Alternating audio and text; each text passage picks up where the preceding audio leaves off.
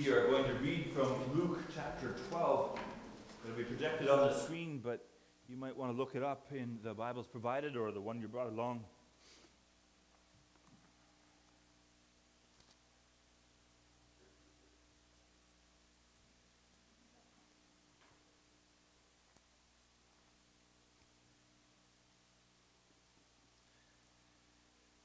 Luke chapter 12, the first 12 verses.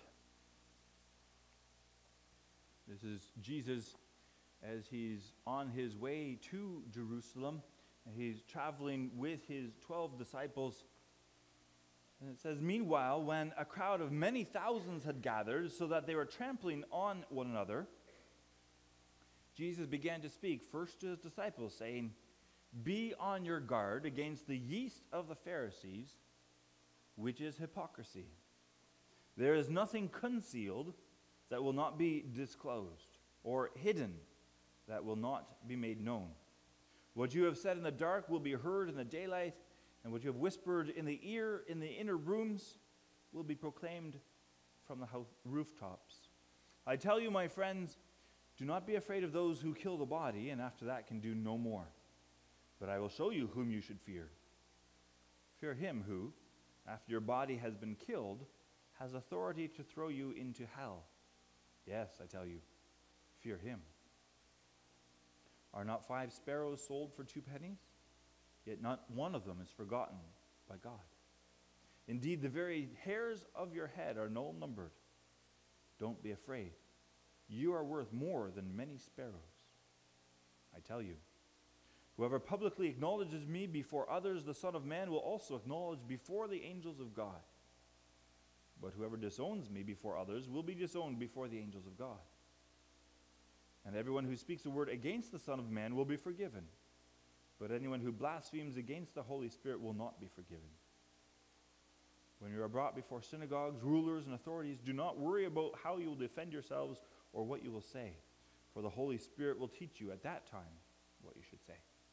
This is the gospel of Jesus Christ. Thanks be to God.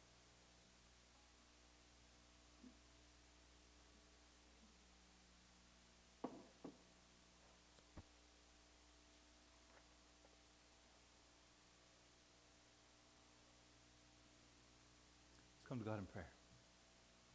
Heavenly Father, we are reading your word and we're thinking about it and we're going to have a sermon on it. We pray that you help us to hear your voice and through the word and through the preaching. We pray, Holy Spirit, that you move in us and move among us, that you affirm in us what needs to be affirmed, and that you challenge in us what doesn't quite live up to your calling. And we pray that through this preaching and through our reflection, that we can be strengthened in our faith and in our hope and in our love. We pray it in Jesus' name. Amen. Dearly loved people of God, a lot of us together in this congregation are reading through the gospel according to Luke together. It gets, uh, you can pick up copies of the daily readings at the door. It gets emailed to others of you. If you're interested in that, let me know. But the goal of those readings is to work our way through the Gospel of Luke from Jesus' birth that we celebrated and marked at Christmas time all the way up to his uh, crucifixion on Good Friday, and then to read about his resurrection on Easter Sunday. Because ever since Christmas, our eyes have been fixed forward, looking ahead to Jesus' death and to his resurrection. This week, though, that countdown to Good Friday and Easter gets put into a little bit more focus. Because this week, starting on Ash Wednesday, is the beginning of Lent. Lent is a time when a lot of people start becoming a little bit more intentional about working on renewing, strengthening their walk of faith. They spend a little more time meditating on the cost that it took to redeem them from sin and from death. Lent is often a time of prayer, it can be a time of fasting. and it can be a time of recommitment to faith in Jesus Christ as Lord. And throughout the Sundays in Lent, we're going to be doing a series of sermons looking at Jesus in the Gospel of Luke and the people that he ate with and the conversations that he had when he broke bread with people. There's a phrase that describes eating in that time and in that place. You know how we sometimes say, well, um, yeah, I don't know what we say. You are what you eat, right? We sometimes say that you are what you eat. In the Bible times, in the places where Jesus lived, it was a little bit different. The saying was, You are with whom you eat. That your identity is shaped by the, the people that you eat together with. That your identity is shaped or defined by the people that you enjoy table fellowship with. Not going to be the last time we hear that. We're, we're going to work on that throughout all of the Sundays during Lent. Thought I'd just give you a teaser there. Because Lent can be a time of renewal, it can be a time of recommitment, it can be a time of remembering our dependence on Jesus completely to rescue us, which is why we begin Lent by coming to the Lord's Supper table next Sunday morning. A time to reinvest in our discipleship, in our efforts to follow Jesus. And so it's my hope and prayer that as we go through these series of sermons, as we work our way through the gospel according to Luke, that we can grow in our faith. And if you have been reading through the Gospel of Luke, and I know many of you have been, you might recall from Luke chapter 9, we read it together on January 31st, how, Jesus, how Luke described Jesus as the time approached for Jesus to be taken up to heaven, he resolutely set out for Jerusalem. So the rest of the whole gospel is telling the story of how Jesus, with his eyes fixed firmly on Jerusalem, is moving towards his death, moving towards his crucifixion, moving towards his resurrection and ascension to glory. And that's what it's talking about, right? Taking up to heaven is at the end, when everything's finished, how Jesus was lifted up to the throne room of heaven. Starting at Luke chapter 9, verse 51, we see how Jesus squares his shoulders and determinedly starts on that trip that will have him confronting sin and death and hell. In our passage today, that call to be resolute extends beyond just Jesus to his circle of disciples and to all those others crowd there were so many that were trampling on each other to also be resolute to square our shoulders for the journey that's ahead. And it sounds a little bit different than you would think it does doesn't it? Because as that crowd surrounds and, and the inner circle is there there's a temptation for the 12 especially and, and others who've been there since the beginning to kind of act as if well that's our rabbi and we've been following him and, and we kind of get this stuff. We've, we've got our stuff all together. The disciples are only near perfection because they're standing so close to Jesus. They in themselves haven't reached perfection yet. They're still learning, still growing. That is what it is to be a disciple. For them, as well as for us. And so Jesus calls his disciples to be different than the Pharisees. That's not the model that you ought to follow, Jesus said. Even though, whatever else you can say about Pharisees, they worked really, really, really hard to try and impress God by their goodness, by their charity, and by their refusal to break any, even of the smallest, of God's laws. And yet, like a lot of high achievers, the Pharisees kind of got proud about their efforts. They kind of got proud about the way that they were able to keep God's law and to live holy lives. And so it was tempting for them to almost get competitive about this so that they started to exaggerate their success about living up to God's law. They're tempted to, to gloss over their failures and pretend, well, nobody saw that. And sometimes they make it seem like they actually live up or exceed the standards that they've set for themselves and have the ability then to look down their noses at everybody else. But that's not the case. Because this side of glory, this side of the fall into sin, nobody can live up to God's law perfectly except Jesus himself. And so Jesus calls the behavior of the Pharisees, pretending they have it all together, he calls that hypocrisy.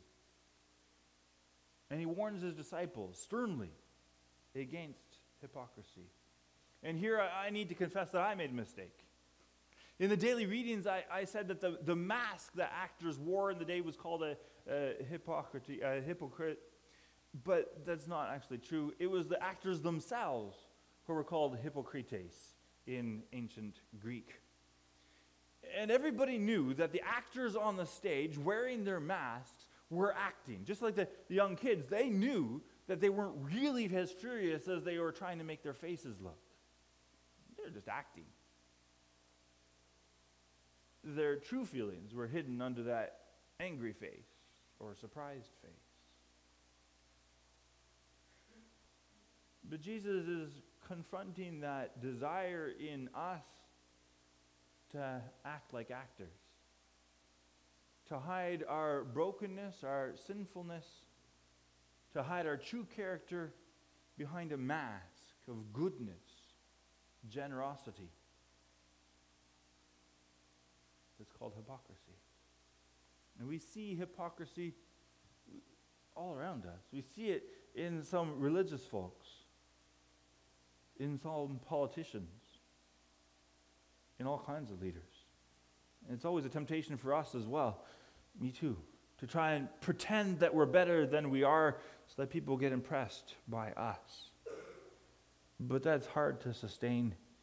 When people get to know you better, they, they realize what you're about. And around our culture right now, there's a lot of people pulling the curtain back, making politicians and other people frightened by the Me Too movement that says, well, this is the way people act behind closed doors or in closed offices or on elevators. The hypocrisy is going to be exposed, just as Jesus promised it was going to be. Jesus is pretty clear that he's against hypocrisy. He, he calls, speaks about it as if it was yeast. And, and that might not make a lot of sense to us, to, to, for Jesus to warn us as disciples against the, the yeast of the Pharisees. Does that make sense to you? Uh, we need to unpack that. Because in the Old Testament, when you made an offering of bread or of grain or any of that kind of stuff to the Lord, you were not allowed to include yeast in it because yeast was considered a contamination. And so the law says really clearly, Leviticus 2:11, every grain offering you bring to the Lord must be made without yeast. You are not to burn any yeast or honey in a food offering presented to the Lord because yeast was considered to be a contaminant, something that, that made that offering that otherwise was good to be dirty. And in the same way, Jesus warns that hypocrisy contaminates any service that you offer to God. Because already it doesn't match up. And if you pretend it does match up to God's standard, uh, you're just fooling yourself and trying to fool others. Any insincerity any exaggeration of goodness contaminates our efforts to love God, it contaminates our efforts to love our neighbor. But you could pursue this further if you really wanted to. How about to exaggerate your efforts to impress God and others with how you avoid hypocrisy? Wait, this holiness stuff is, is, is more complicated than you think, isn't it? And yet we try especially as religious people, we try to make it seem like we got all our stuff together. We're tempted to look down our noses at other people who don't look quite the way that we do. My parents recall the days when TVs first became available. And off of some pulpits, they were spoken against as something dangerous, something you shouldn't have. And so, those that did dare, the first people who dared to get their TVs would have them in a back corner room and would put the antenna up in the attic so that nobody could see it. And when certain visitors come, they would put a tablecloth over it. You couldn't see it, right? I'm told in some corners this stuff still happens. And not just about TVs. I mean, have you ever had it that you were really impressing your boss or your mom or your teacher with how hard you were working on the computer? But really, you were surfing online or playing a game? And when they came to look over your shoulder, suddenly you had to change windows or, oh, I'm done now. trying to make it sound like you're doing better than you really were. It's acting, it's hypocrisy. You can stop poking each other now.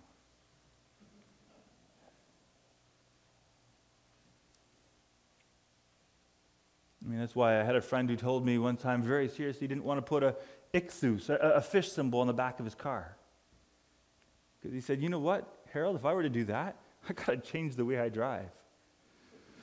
Oh boy.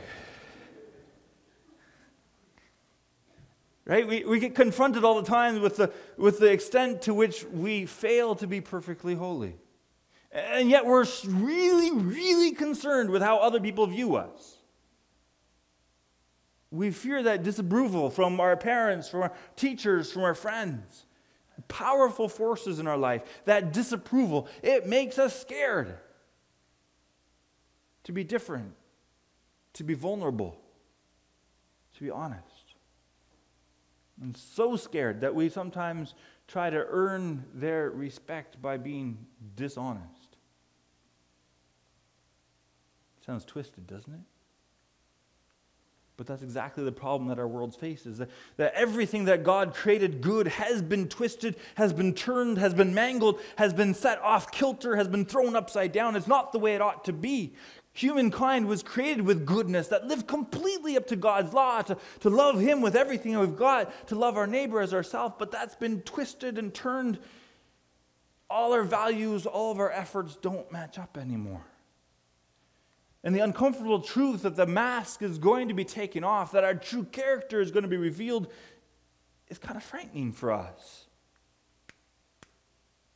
And it happens when people get to know us for long enough. They see who we truly are, but, but sometimes we can fool people a little bit longer. We're tempted to try. But we can't keep fooling God. He sees what's done in secret. We sang a really scary song when I was in Sunday school. Oh, be careful, little hands, what you do. Oh, be careful, little hands, what you do. For the Father up above is looking down in love. Oh, be careful, little hands, what you do. And eyes, and ears, and tongue. And yet, the scariness of God looking down from on high is that He's still looking down in love. And that's the hope, that's the confidence that we have. That surveillance could be frightening, except that God does it in love. But it still reveals that nothing can be secret. Jesus says that too, right? Nothing is concealed that will not be disclosed, or hidden that will not be made known. What you've said in the dark will be heard in the daylight. What you've whispered in the ear in the inner room will be proclaimed from the roofs.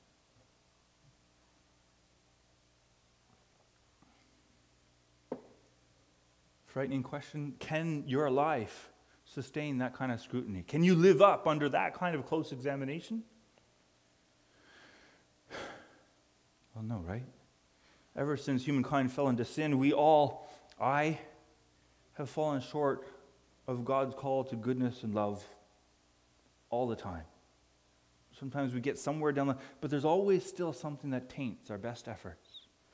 And so without help, we're doomed to die for our sin to die far from God, to die far from grace. Because in His holiness and His justice, God's not going to ignore human sin. He's got to deal with it.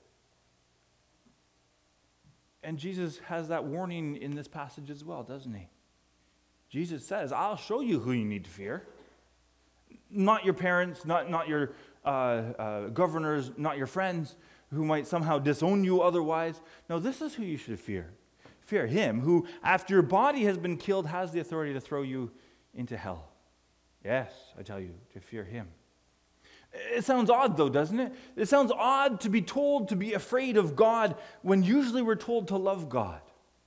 But this is an awe of God's holiness and his justice and his majesty, a recognition that he is altogether good. And we aren't. That God is going to hold people accountable. There will be a day of reckoning. Judgment day is coming. And we need to have proper awe for God's judgment, his authority to damn us to hell. I mean, that's appropriate to have fear, holy fear, awe, wonder at that kind of authority. And yet, if that holy fear wasn't balanced with our experience of God's grace, it would absolutely paralyze us. If it wasn't balanced with our recognition that God is also loving and merciful, uh, then we'd be in deep, deep trouble. But God is also loving and merciful. In grace, Jesus came down from glory to rescue us. God the Father sent God the Son to become human like you and me and everybody else, except that he was without sin. In his teaching and his actions, Jesus showed us what love looks like, what goodness looks like. And yet he was more than just an example, more than just a miracle worker. Jesus suffered for sin, for human sin throughout his life, but especially in his death at the cross.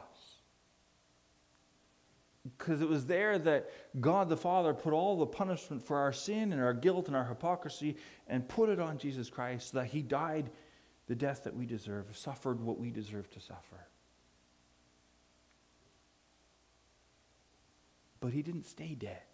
He conquered sin, he conquered death, our worst enemies, and became alive so that we also can be confident in God's forgiveness and the life that we have in Jesus, through Jesus, and with Jesus. Now we're called to serve him by bearing witness, by, by telling people what we've seen and heard and experienced of God's grace, his goodness, and his mercy. And here too, God lovingly watches us. We're not supposed to put on masks of holiness or a facade of goodness, a false front. No, we need to be honest about our dependence on God. That, that, that but for the grace of God, I, I'd be the same place as everybody else. That's our best response to be honest about who we are and what God has done for us. Because all of our hope is completely not on us, not what our hands have done, but fully and completely on Jesus Christ. And Jesus has promised that He'd honor even our imperfect efforts. He says, I tell you, whoever publicly acknowledges me before others, who bears witness that, that we depend completely on Jesus, Whoever publicly acknowledges me before others, the Son of Man will also acknowledge before the angels of God. But the other side is there as well. Whoever dishonors me before others will be disowned. Sorry, whoever disowns me before others will be disowned before the angels of God. And to be acknowledged as a child of God before the angels in that judgment room is the most wonderful thing because that enters us into the new creation where God is on his throne, when all things are set right, when the whole of creation is renewed so that it works the way it was intended to work at the very beginning with love and mercy and truth.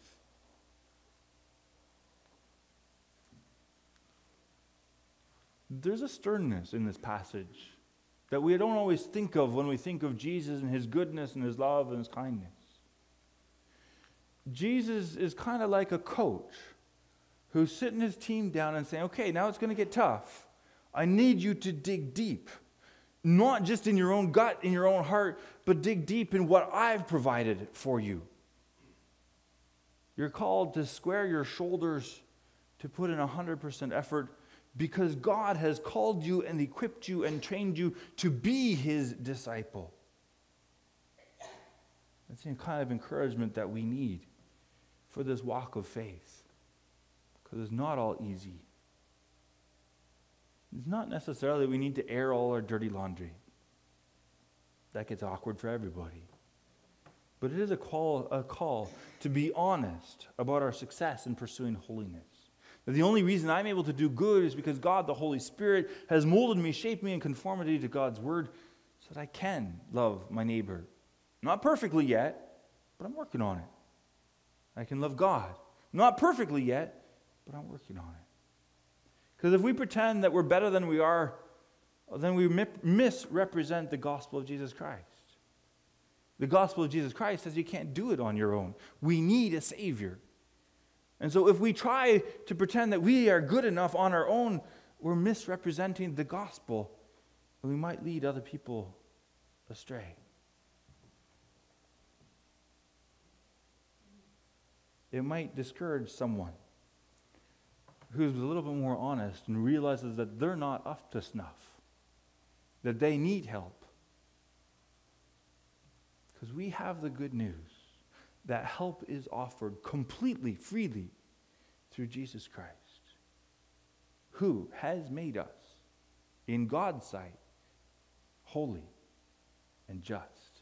He's clothed us in his own righteousness so that we have hope for our future that we have faith, hope, and love that's going to get strengthened. As we eat and drink and confess, we can't do it on our own, but need a Savior, namely Jesus Christ. Amen.